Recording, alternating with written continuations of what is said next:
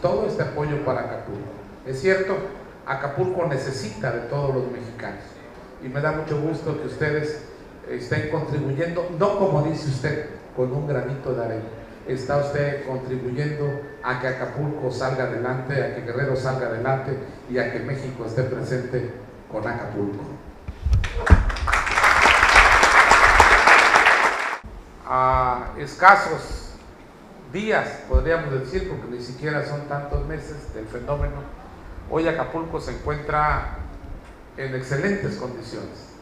Acapulco, como lo dijo el presidente, está de pie y está como siempre con su bahía, la bahía más bella del mundo que tiene Acapulco.